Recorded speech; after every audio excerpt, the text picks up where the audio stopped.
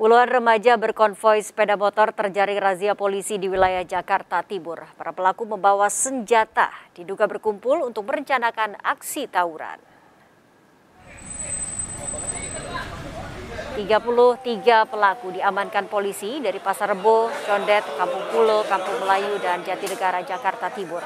22 orang di antaranya adalah remaja berusia belasan tahun. Dari para pelaku yang diduga merencanakan aksi tawuran, polisi mengamankan 9 senjata tajam dan 8 sepeda motor. Bersama barang bukti, puluhan pelaku digelandang ke Mapores Metro Jakarta Timur. Kerumunan kelompok remaja di masa PPKM level 3 telah meresahkan masyarakat.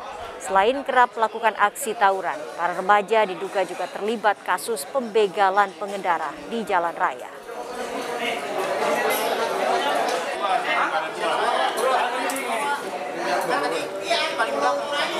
Saya yang dia yang kabur.